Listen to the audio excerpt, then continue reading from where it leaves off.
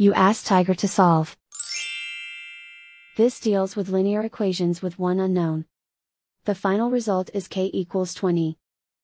Let's solve it step by step. Move the negative sign from the denominator to the numerator. Swap sides. Isolate the k. Multiply both sides by 5. Group like terms.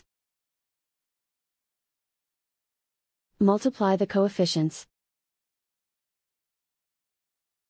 Simplify the arithmetic.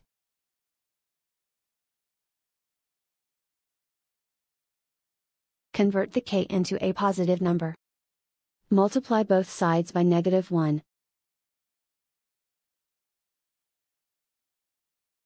Remove the ones.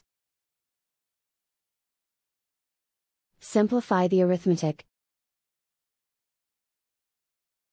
And so the final result is k equals 20.